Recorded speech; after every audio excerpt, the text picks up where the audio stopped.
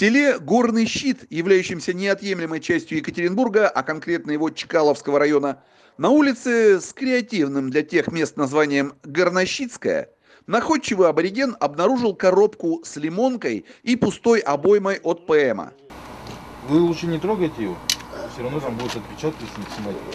Этот микроарсенал лежал за мусорными баками на колесиках под стенами универсама «Пятерочка». Помимо взрывоопасно-огнестрельных предметов, в подозрительной коробке было полно всякой всячины и разной разнячины. Армейский жетон, кусок водительских прав, действительных до 2020 года, часы, батарейка породы крона, шариковые ручки, ну, в общем, всякая мелочевка, на фоне которой выгодно выделялись наручники. Да не простые, железные, какие, как казалось бы, могли бы быть у человека с гранатой F1, пистолетным магазином и несгораемым жетоном воина вооруженных сил России, а наручники с опушкой, с фиолетовой меховушкой, какие обычно используются для приковывания к кровати партнера по сексуальным утехам.